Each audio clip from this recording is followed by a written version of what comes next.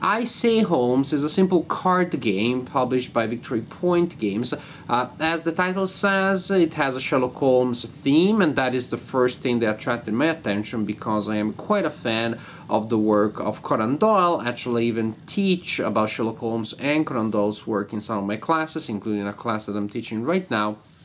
And so the theme interested me and it seemed to be a simple light card game with an element of social deduction so that made it even more intriguing because I thought if the game is fun and indeed light and accessible then maybe I can play with my students so that then we can discuss one more way in which Conan Doyle's creation has been represented creatively. Um, so these are the things that I was hoping from, from this game. A Sherlock Holmes theme, a game that was easy, accessible, and fun to play.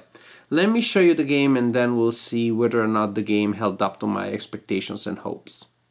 The game includes a large deck of cards, which however, for all intents and purposes, you have to think of as, as two decks.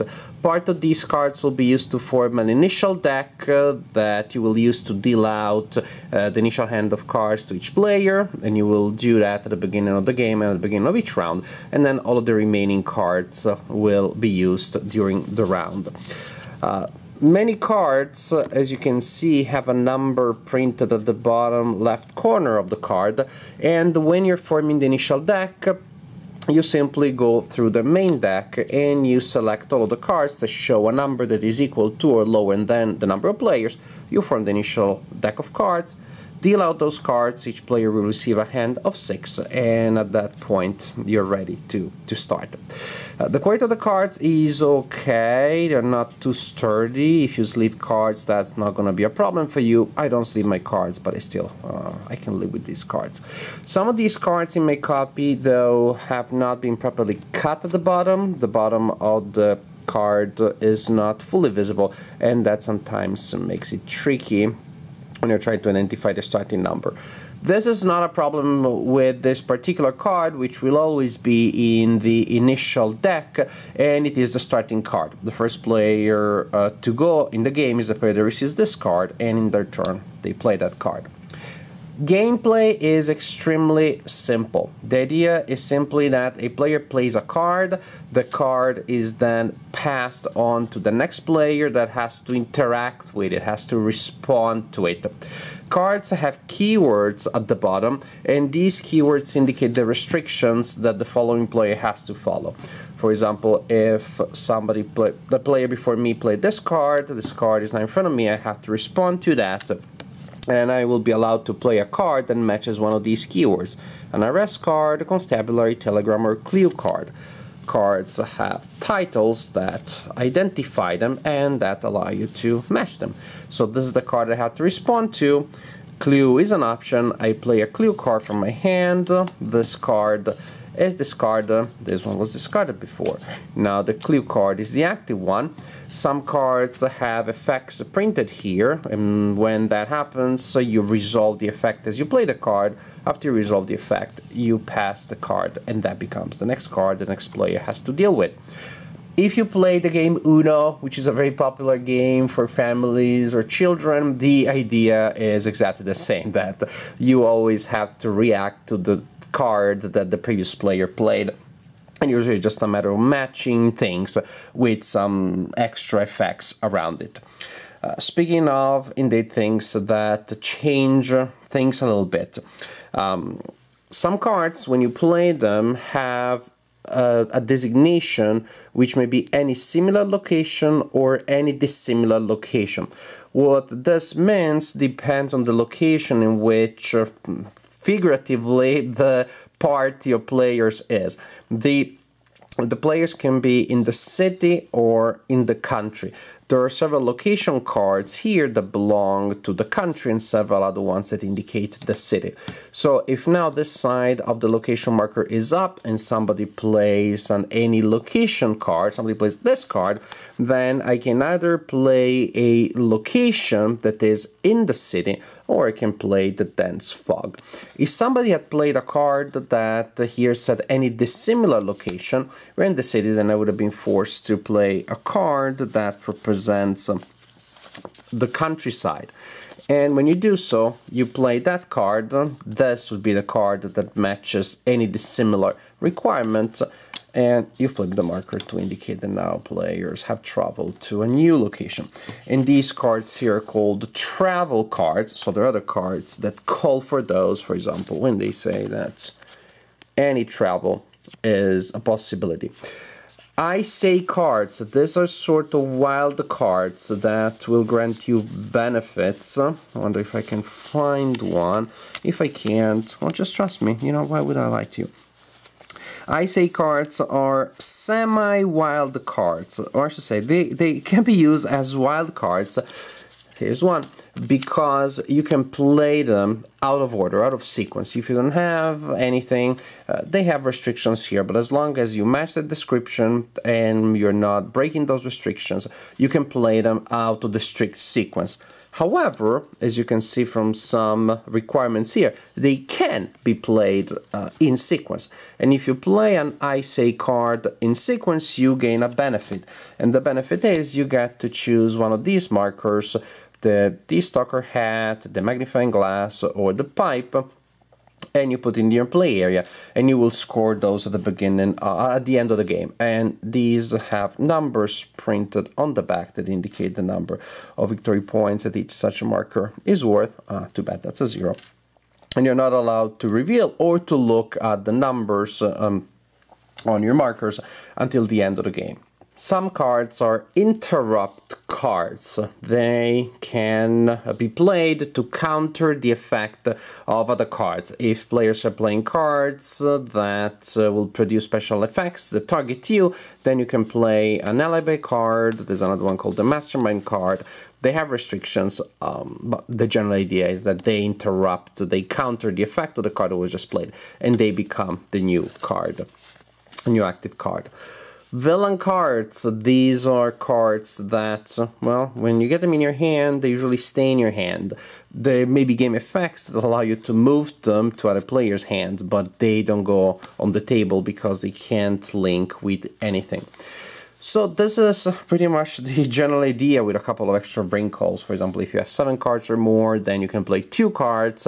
The second one has to be in sequence with the first one that you play that allows you to decrease your hand of cards a little faster. The idea is that you are trying to decrease your hand of cards. You need to have either an empty hand or a slow hand to be able to end the round and to score usually. A round can end in one of several ways. If you have a villain, you can try to side with the villain and to make the villain escape. If in your hand you only have a villain or you only have villains or you only have villains and interrupt cards, uh, like this one, and nothing else, then your villain or villains can escape. Then you simply show the hand of cards, you show that you have nothing but villains, and possibly also interrupt the villain or villains escaped and you score the villain that you allowed to escape. For example, here I allowed Moriarty to escape. I gain this token here, which also grants me victory points at the end of the game. Another way to end the round is to actually capture a villain, um, and you can do that if you have no cards in your hand or if you play an arrest card. There are cards that will allow you to simply perform an arrest action. So if you have no cards, you have to arrest somebody. If you play a card that is an arrest, you're also arresting somebody. Arresting somebody simply means that you're pointing to another player and you're accusing them of of protecting a villain, that is, of having a villain in their hand, that player gives you uh, their hand secretly and you look at it if you were correct in your guess and there is indeed a villain in there, then you capture the villain, you close the case, and you end the round, and you get some points uh, from that. Otherwise, if you missed, if you look at the card of the other player and there is no, there are no villains in it, then you have to keep that hand of cards, and the other player will simply draw an equal number of cards. Which means if you have no cards, that restarts your hand. If you played an arrest card, then the new cards from the hand of the player you wrongly accused get in your hand as a penalty for accusing somebody wrongly. So there are uh, two main ways of ending a round by arresting a villain or by being the villain, helping the villain escape. If you arrest the villain, then you have to calculate how many points the case is worth. And cards have a number printed in the top left corner. Sometimes it's a zero, but they still acknowledge that there should be a number. You total the numbers of all cards in the hands of all players. And the highest the number the most the more valuable the case was. Suppose at the end we total everything and the value is 60 this case was worth 60 which also means the earlier you end the case the more cards are in other players hands the higher the value will be. Once you have the value of the case you look at these tokens here the case closed tokens and you get the one which is the which has the highest value that does not exceed the value of the case.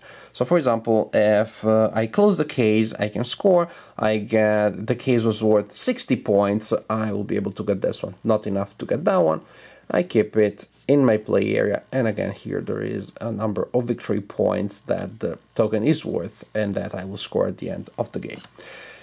The game is over when this token here is assigned to some play to a player. And that doesn't necessarily mean that all other tokens will be gone. If now somehow we uh, next turn we end the case and the case is only 10 points. I don't know how that would work. Uh, the case is only 10 points then it's not enough to get any of the other ones. This would be the highest value that does not exceed the value of the case. Then that would end the game. So uh, the game does not necessarily end when all of these tokens are assigned. When that token is assigned you count all of the victory points the players have earned from villains from tokens and at that point the player with the highest total amount of points is the winner of the game. As we were playing the game, so one of the players asked me, so since you know Conan Doyle's work well, do you get the sense that the theme is here? Do you get the sense that you're like living somewhat of, of, of a plot? You're experiencing part of a story by Conan Doyle? And my answer was quite simply no not at all. I wasn't feeling like the game was telling me a Conan Doyle story. I wasn't feeling like the game was telling me a story at all. Uh, there are cards called Clues. There's a card called London. There's a card called uh, something else. I don't get the sense that I'm walking through London collecting clues and doing detecting. I'm simply looking at colors that I'm matching with other colors, and that is pretty much it. In that sense, the game really doesn't offer much more than than Uno does. Um, something that I noticed people have remarked on Board Game Geek, which is something I experienced too, is that sometimes the game gets stuck. That is, the card that needs to be resolved uh, cannot be resolved. If you cannot resolve the card, then you draw a card from the deck, you try to resolve it, and if you can't, then you simply get stuck with a new card, and the card that you couldn't resolve goes to the next player who maybe can't resolve it, draws a card, and so on and so forth. And maybe the card goes around quite a bit, uh, clattering people's hands, and that is not all that fun. Um, that's a minor thing. The problem is that there are some of these minor things that are negative that, that weigh against the game, in my opinion, and I couldn't find many positives to counterbalance this. The game is like a fiddler version of Uno with better art, with better illustrations. But even there, if you're a fan of Conan Doyle, then you start seeing things that don't seem quite right, don't seem quite like what um, you know uh, the texts uh, uh, evoke. The texts describe Mycroft Holmes in a certain way, and the card, the high Heisei card representing Mycroft, is completely different from the way we see Mycroft Holmes in the sto short stories. The same goes, of course, for the uh, Deerstalker hat that was never mentioned in Conan Doyle stories. So things like that, minor things. But let's talk about gameplay. Uh, the problem with gameplay is that uh, it may get stuck sometimes, that's a minor thing. Uh, it doesn't have much to really make the game interesting. If you have a card that matches the color, then you match it. If you don't, you don't match, you draw a card and maybe we'll match it next time. It is very basic. What I hope that the game would do, anyways, is that at least there would be an interesting deduction system that would work around that. So that in that case, maybe the fact that the rules uh, and the basic mechanics are so linear would allow me not to be distracted from the investigation, the deduction. But there isn't really much of that. Uh, if you have a villain and you're trying to escape with the villain, then you're simply trying to clatter to to empty your hand as fast as possible um, and which you may or may not be able to do. There aren't many things that you can do to influence that.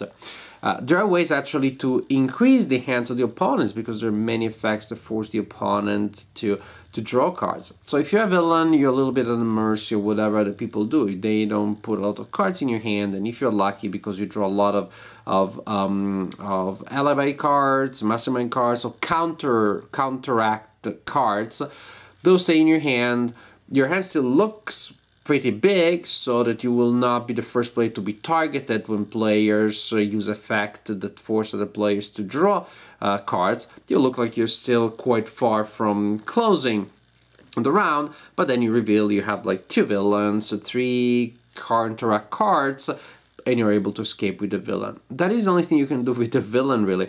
Um, as for the detective, there are a couple of ways of trying to figure out who may have the villains, but they're very limited. One way is effects that allow you to give one of your cards to another player. Then if you had the villain, you get that a player stuck with the villain, and then you're simply trying to find a card that allows you to arrest that player doesn't really feel all that Sherlockian that you're basically framing another player who was not a villain, you're turning them into a villain so that you can arrest them.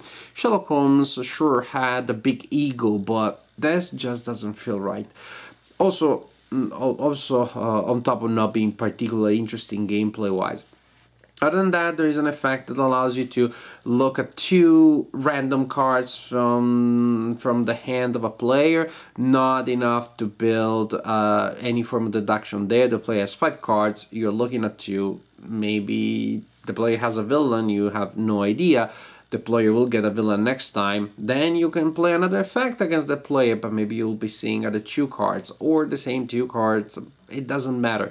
Uh, that really doesn't allow you to further your investigations much, unless you're targeting a player with a very small hand, but still, not that much. Um, so there aren't many, many ways of doing that. Actually, if you um, you may end up having to perform an arrest because you have no cards in your hand and you have to choose a player. Maybe you have no idea of who may have a villain. You simply probably will go for the player with the short, with the smallest hand of cards so that if you made a mistake, then you don't have that big of a penalty.